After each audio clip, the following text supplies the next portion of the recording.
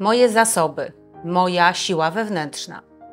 To brzmi jak początek rozważań nad przygotowaniami do zdobycia szczytu czy wyruszenia w drogę pełną wyzwań. Niech będzie to droga zawodowa i szczyty kariery, tej pojmowanej jako doskonalenie w konkretnej dziedzinie lub jako awans zawodowy. Zawsze bezpieczniej będzie wyruszyć w drogę z przygotowanym planem, uwzględniającym niezbędne zasoby i ewentualne zagrożenia. No właśnie, a jeśli na drodze pojawi się przeszkoda? Jeśli jest nią niepełnosprawność i brak możliwości realizacji dotychczasowych planów zawodowych? Co zrobić, gdy trzeba dokonać zmiany sytuacji zawodowej na skutek zmiany sytuacji życiowej? Przygotuj się na nowy etap swojego życia zawodowego, ale najpierw poznaj swoje zasoby. Zasoby podzielimy na osobiste oraz społeczne. Przyjrzyjmy się każdej z tych kategorii. Przede wszystkim analizie poddajemy kompetencje. Kompetencje rozumiane jako wiedza, umiejętności oraz postawy zawodowe. Zastanów się, gdzie i w jaki sposób była zdobywana przez Ciebie wiedza.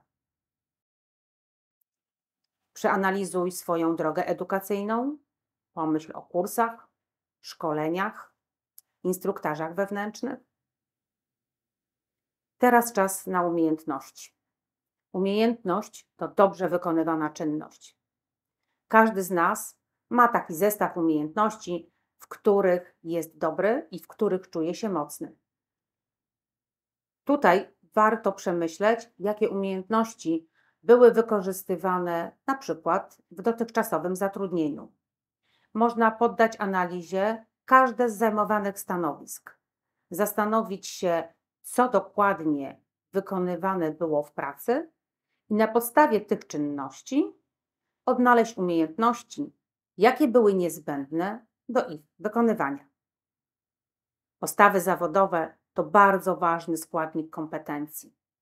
To one świadczą o tym, w jaki sposób podchodzimy do pracy zawodowej, jaki mamy stosunek do tych zadań, które były nam powierzane w trakcie zatrudnienia.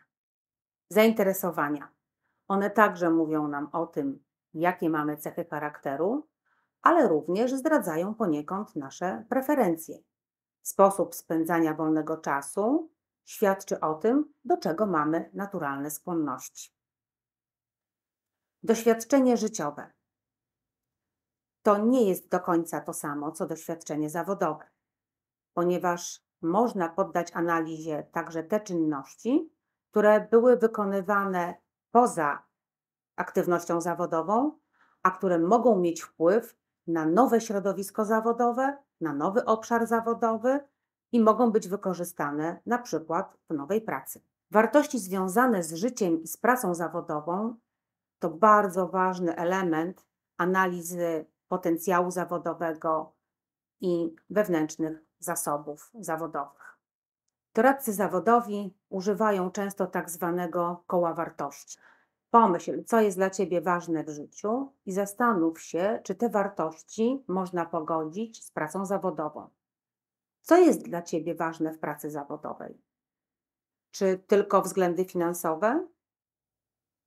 A może istotne są również kontakty społeczne, może ważne są również takie elementy, które związane są z godzeniem pracy zawodowej z życiem rodzinnym. Może wartością jest dla Ciebie to, abyś mógł doskonalić się zawodowo, a może chcesz być własnym szefem, bo to jest dla Ciebie najistotniejsze.